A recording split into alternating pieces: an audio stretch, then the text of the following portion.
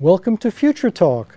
This is the program that examines the global impact of technology and tries to see just where it's leading us. On today's program, we're going to talk about something called the semantic web, which is shaping up to be the next big step in the evolution of the World Wide Web, which will make it a lot more powerful and a lot more omnipresent in our lives than it is today. With me in the studio is our co host, Jack Porter, who is CEO of Forward Innovations Incorporated, and our special guest, Nova Spivack. Nova Spivack is founder and CEO of Radar Networks Incorporated, which is a pioneer in the development of the semantic web. Nova is a technology entrepreneur and visionary who has been involved in the founding of numerous technology companies, including EarthWeb, which helped major companies like AT&T launch their first large-scale web operations and whose initial public offering in 1998 produced one of the largest first-day gains in NASDAQ history. Nova is a leading-edge thinker with many interests who blogs frequently about those interests, and he's also a fan of space tourism, having already flown to the edge of space and experienced weightlessness with the Russian Air Force. Nova, what exactly is the semantic web? Well, uh, the semantic web is really not a new web, it's just a new uh, step in the evolution of the web we already have. And really, if I had to boil it down, um, it's about making the web smarter. It's, it's about teaching the web to understand the content that's on the web. How would that manifest itself in a practical way? What would I be able to do on it that would be easier than today's web?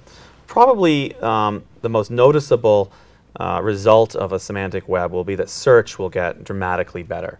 But there'll be many other uh, manifestations of the technology. Uh, in the enterprise, for example, business intelligence and knowledge management will also improve. Uh, and in fact, the way that we author and share content and build communities will also change. Are there any technologies that don't exist right now or are coming on the forefront that are really going to drive this? Well, there are there are a number of technologies that are that are emerging. Um, they have actually been um, proposed as standards. Some are now standards, and these include um, RDF, OWL, uh, and SPARQL, which is a query language, which allows uh, these kind of database-like searches to take place. In, in a nutshell, we're really turning the web into something that's more like a database and less like a file server. Now, where is this ultimately going to lead us? Is this largely for social networking? Is is there going to be no barriers between time and space? All the information you want in the world is just at your fingertips instantly?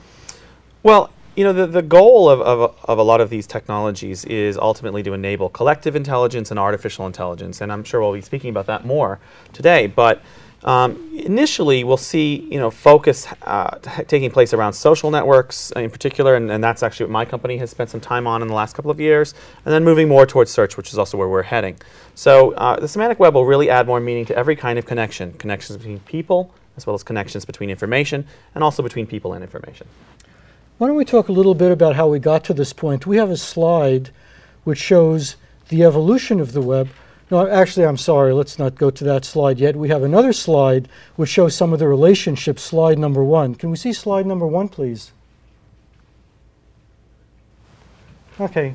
So now, what is this slide telling us?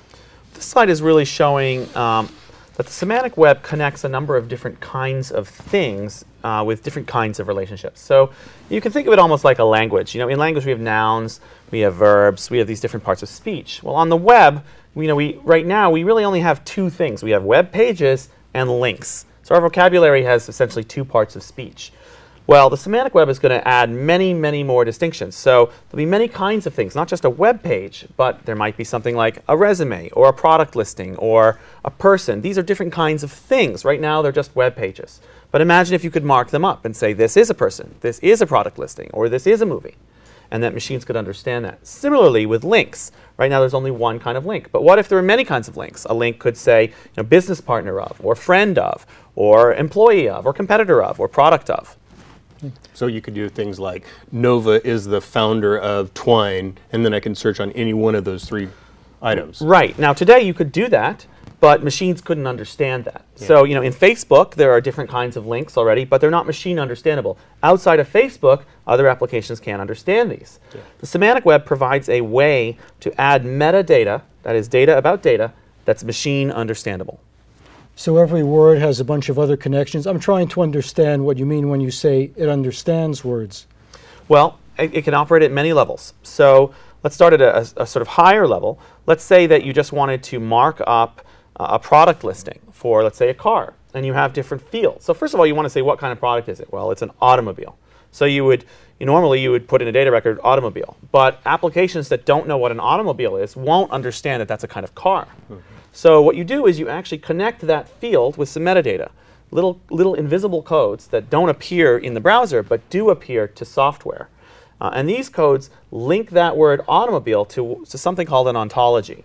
And an ontology defines the meaning of terms. So in this case, you would say automobile links to a special concept for a vehicle, um, in particular uh, a car, in an ontology. And that's, that link is made in such a manner that any application that speaks this language, which is called RDF and OWL, these two languages, any application that speaks that can look up the meaning of that word. Similarly, for every other field, mileage, model, all of these different things can be defined unambiguously in a machine understandable way. Kind of a Wikipedia for programs. Yeah, so the semantic web is really for software. It's not really for people.